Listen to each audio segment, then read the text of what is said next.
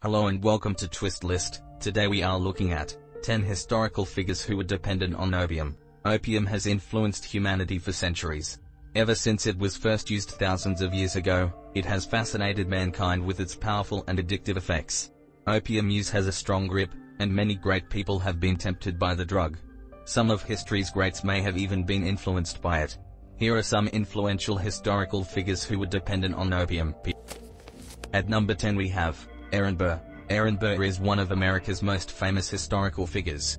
A man of great political standing for most of his life, he had a brilliant career until the matter of honor would forever change his life. He is most remembered today for his famous duel with former Secretary of the Treasury Alexander Hamilton, which ended with Hamilton's death.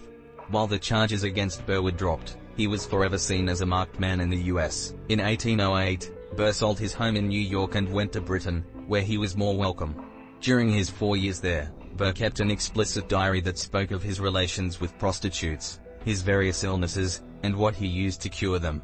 While he visited his relatives in Britain, he began to increasingly use opium. Fittingly, the Scottish nobility, which welcomed Burr with open arms, was one of the leading profiteers from the opium trade. Burr's diary tells of his dependence. One passage speaks of his having a toothache, and he writes, I thought of my old remedy, camphor and opium.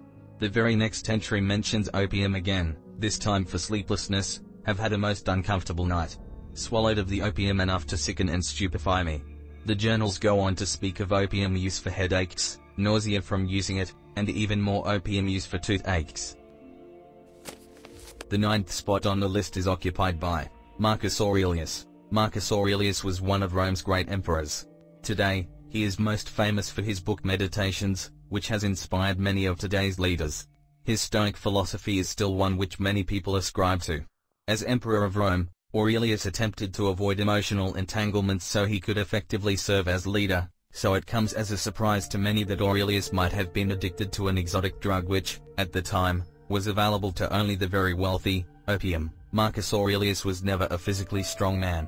However, being Emperor of Rome, he was expected to lead his army. Because of his frailness, he was often sick from various ailments, and the cold bothered him most. He could barely eat during the daytime and was said to only eat at night, eating very little even then. To combat his sickness, Aurelius's physician Galen prescribed him a medicine called Theriac. It apparently worked, because Aurelius could endure the rigors of war as a result. Of course, the drug that Aurelius received was opium. According to records by Galen, Aurelius couldn't take the drug in the daytime because it made him too drowsy but he took it every night because he couldn't sleep without it. At the very least, he doesn't seem to have been hopelessly addicted to opium, since he managed to write meditations during this time. He most likely only used the drug as a painkiller and sleeping aid. Number 8 on our list is Thomas Jefferson. Any good student of US history will recognize Thomas Jefferson. He was one of the founding fathers, he wrote the Declaration of Independence, and he was the third president. His illustrious career certainly made Jefferson one of the greatest figures in history, but, as with many of history's greats, Jefferson had some interesting personal habits. One of them was that Jefferson was a frequent user of laudanum, a tincture of opium. Thomas Jefferson was somewhat eccentric, and he often self-medicated. He had an embarrassing diarrhea issue which he wrote about to an acquaintance in a letter in 1803. This acquaintance recommended laudanum to Jefferson to control his problem. It's not known when Jefferson first agreed to use opium, but we do know that once he began, he used it with enthusiasm. The drug helped Jefferson so much that he would continue to use the drug regularly until his death in 1826. Jefferson refused opium on his deathbed, however, saying to his doctor, no doctor, nothing more. He died calm and with a clear mind. In one of Jefferson's medicinal journals, he recorded the recipe given to him to make laudanum. So he would always have a supply of the drug. Jefferson grew white opium on his plantation at Monticello. The plants continued to be grown until 1992, when the management became concerned about the legality of doing so. At number 7 we have, Meriwether Lewis. Another of America's great heroes, Meriwether Lewis was a giant in the history of exploration. After Thomas Jefferson purchased the Louisiana Territory in 1803, which doubled the size of the U.S., he tasked Meriwether Lewis and William Clark with exploring and mapping the new lands. This was to be an arduous journey that would take Lewis and Clark to the Pacific Northwest. While many see Lewis as a pioneer, Some now suggest that he was tormented by opium use. Lewis was a fan of opium pills, which had only been isolated and produced as a pharmaceutical that year. It seems that Lewis brought a large amount of the drug along, enough for him to take, according to his own estimation, a gram a day. A gram of opium is a shockingly large amount which, combined with Lewis's alcoholism, must have been extremely potent. He took three pills at night to sleep and two in the morning to operate during the day. Lewis was known to suffer from depression, so opium and alcohol could have increased his misery. This has been suggested as a possible factor in his death. Lewis died suddenly in 1809 from unknown circumstances ranging from suicide to murder. Number 6 on the list is Samuel Johnson. Samuel Johnson is one of the most important men in English history. Johnson effectively established the English language that we have today by writing a dictionary of the English language. He was also the subject of what has been described as the most important biography in English history, Life of Samuel Johnson. While most people don't remember him today, Without Johnson's contribution to the English language, the world would be very different. Johnson, one of the most learned men of his day, was interested in medicine. At the time, medicine was dangerously unregulated, so Johnson could do as he pleased. He was known to befriend doctors and use himself as a patient. Johnson had a variety of physical ailments and tics, so he would also use other doctors' suggestions to treat himself. According to a friend of Johnson's, he used opium in great quantities after 1765, when he would have been in his mid-50s. Johnson regularly took opium to get relaxation of the breast, as he called it. His preferred mixture of the drug was one in which he mixed marshmallow with the poppy. This mixture enabled him to take large amounts, sometimes as much as 3 grains, about 200 milligrams, by his own account. Johnson understood that opium was highly addictive and frequently said that he feared the horrors of opiates. In spite of this, he used the drug for almost 30 years until his death in 1784. The fifth spot on the list is occupied by Benjamin Franklin. Benjamin Franklin, like Thomas Jefferson, was one of America's founding fathers. His achievements are too many to count, and he was involved in almost every aspect of American life, from publishing to politics to civil affairs. He was a man of the world who wanted to increase his knowledge with every experience, but like any other person, he began to grow less energized as he aged. In his later years, Franklin would become less and less visible and more addicted to the medication given to him to treat his illnesses. Franklin indeed suffered many painful illnesses in his old age. He had gout in his feet, a condition which made it hard for him to walk. He also had severe kidney stones, which only worsened his health. To treat this, Franklin's doctors recommended laudanum in 1782. This seemed to ease his pain and allowed him to function and socialize with his many friends. Unfortunately, laudanum only worsened his condition in the long run. In 1790, Franklin wrote in a letter that his laudanum use had taken away his appetite and that, little remains of me but a skeleton covered in a skin. He had been working on his memoirs, but laudanum made him so unfocused and tired that he worried that they would never be completed. He died later that year, never having quit the drug. Number 4 on the list is William Wilberforce. Today, William Wilberforce is one of the dominant figures in British history. Through his efforts, England eventually banned slavery. While this Nobel act is probably Wilberforce's most memorable accomplishment, he had a personal life that matched his political reputation.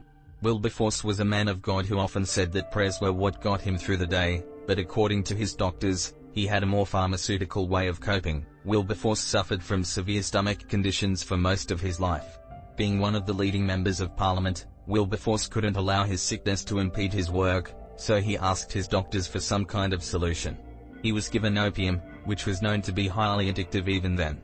That fact didn't stop Wilberforce from taking the drug, and Isaac Milner, a friend of his, wrote, however, be not afraid of the habit of such medicine, the habit of growling guts is infinitely worse. Wilberforce would use opium for 45 years until his death. He claimed that the drug didn't have too much of an effect on his mind, less than that of wine. He recommended the drug to many of his friends in spite of the knowledge that the drug was dangerously addictive. At the third place we have Mary Todd Lincoln. Mary Todd Lincoln was the wife of President Abraham Lincoln, who is widely considered to be one of the greatest presidents in U.S. history. It is certain that being First Lady of the United States would be a stressful role, but Mary was pushed over the edge. She was First Lady during the Civil War, which strained her mind, a mind that was already plagued by depression and anxiety. Like many from her era, Mary used opium to cope. Mary Todd Lincoln suffered from painful migraines for most of her life. Along with copious amounts of wine, Mary would use paregoric, a type of opium product, to find relief. A maid of hers, Maria Vance, noted Mary's heavy usage of paregoric and saw that it made her violent and difficult to deal with. Vance urged Mary to stop her use of the drug, to which Mary said, if paregoric were poison, the Todd family would be dead years ago. Some never born. We were raised on it. Mary also used laudanum for her headaches and to help with childbirth, which was difficult for her. After Abraham Lincoln was assassinated, Mary's opium use reached new and more dangerous heights. She seemed to swing between sanity and madness and would mix various opium products together. Her family even tried to have her committed, but that still didn't stop her. She was known to buy a bottle of laudanum, drink it entirely on the street, and then go back for another bottle. At the second spot is Frédéric Chopin. Frédéric Chopin was one of history's great composers. Chopin wrote some of the most beautiful music ever heard, and his nocturnes are played widely by the world's great musicians. He is universally admired and praised for his genius, but Chopin, like many other artists, suffered from illness and mental distress. His life was one of ups and downs, mostly downs, that eventually took him at a young age.